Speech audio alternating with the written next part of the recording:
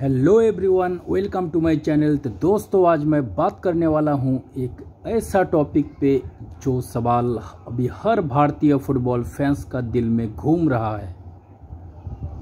और वो सवाल है, सुनील छेत्री जी का बात, आखिर कौन बनेगा भारतीय फुटबॉल टीम का अगला सुपरस्टार? काफ़ी सारा लोग, काफ़ी सारा यंग, टैलेंटेड फुटबॉलर्स का नाम ले रहे हैं।